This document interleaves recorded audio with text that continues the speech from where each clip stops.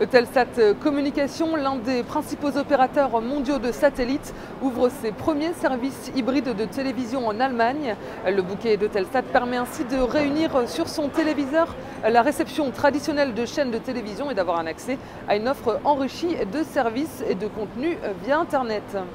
L'opinion des analystes de l'OPSA sur cette valeur est baissière. Le titre perd 1,03% à la clôture.